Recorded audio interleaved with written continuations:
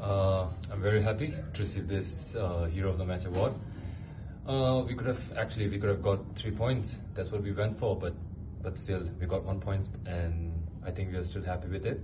Uh, it's a collective effort from the boys, and this goes to the team.